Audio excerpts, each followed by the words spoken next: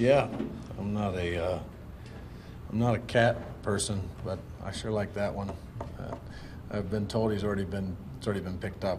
Somebody claimed it pretty quick, so um, that was uh, that was impressive to watch. That And I don't think you know people understand the the uh, limited success right-handers have had against that particular pitcher too. I mean that's a tough assignment, and um, you know, put him in a big spot, and he comes through in big situations.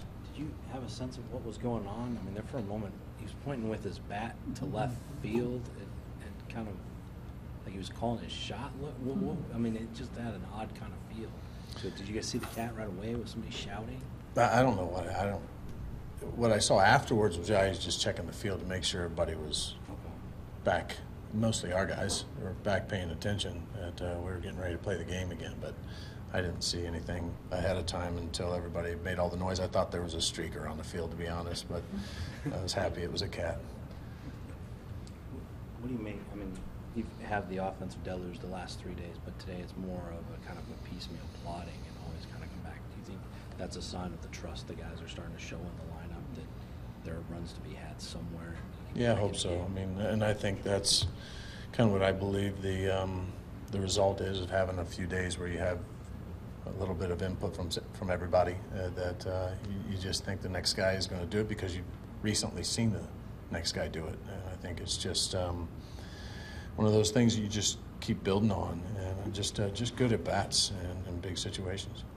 Mike, what does it say about this team that the way this game started? I mean, it looked like it could have really just gotten out of control very quickly. So you're down three when you're just able to turn that around. Yeah, I mean, uh, Leake did a nice job keeping it to two right there when it could have snowballed for sure. And um, but uh, we we had to have offense come through and uh, make up. You know, by the time you know, giving up five, that's a big ask. But um, just kind of some some big at bats, had some opportunities that got through, but we had the big hit, and that's the one thing we kept talking about that we weren't getting before was that, that big hit in the big situation. You know, two out RBIs. Um, you know, obviously grand slams make a big difference, but um, up even up until that point, I thought guys just continued to take some very aggressive, uh, smart at bats, and um, you know, looking looking to do damage regardless of what the score was.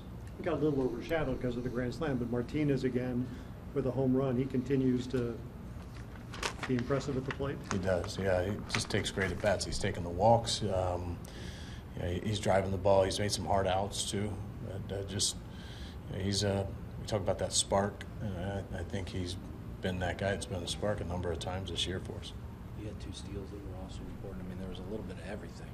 Yeah. Offensively. Too. Yeah, I mean, looking for opportunities and trying to make something happen, and um, you know, we're going to continue to try and look for those opportunities, and, and you know, just um, I think you have to do all those little things right. And I think you know, obviously the situational hitting stuff, we were getting guys over. Mike Leake getting down to safety right there. It's, it's a big play as well. And Kolten having a great jump. Um, defense, you know, there's Dion coming across the middle. Kolten right there to end the game. Just a, a lot of things to be excited about tonight.